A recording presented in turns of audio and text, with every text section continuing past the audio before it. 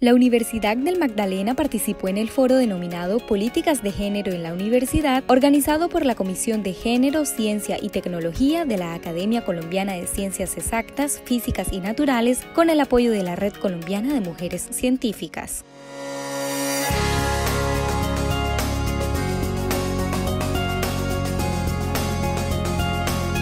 La ingeniera magíster Marjuris Charris Polo, directora de Transferencia de Conocimiento y Propiedad Intelectual de la Vicerrectoría de Investigación, fue la representante de la Alma Mater para presentar el protocolo institucional para la prevención y atención de la violencia basada en género y violencia sexual que viene implementando la universidad. Este espacio pues fue aprovechado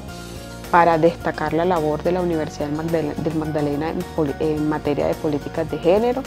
Eh, pudimos socializar y presentar a, la, a las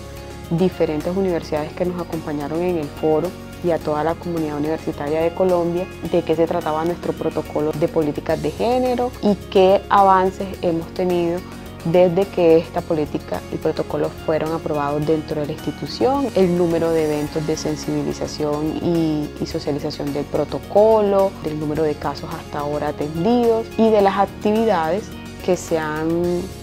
realizado dentro de la institución como cátedras o diplomados relacionados con la materia. Eh, dentro de las principales conclusiones que se generaron de este espacio podemos destacar el compromiso de las instituciones que participamos y de invitar a otras para documentar, seguir documentando, seguir generando espacios donde podamos mostrar el interés que tenemos las universidades en este tipo de temáticas, sensibilizar y darle la importancia a las políticas de género dentro de las instituciones. Asimismo, disertó sobre los avances en las políticas de género y las acciones de reconocimiento a la mujer unimagdalena para exaltar su papel de investigadora, creadora e innovadora en las diversas dependencias.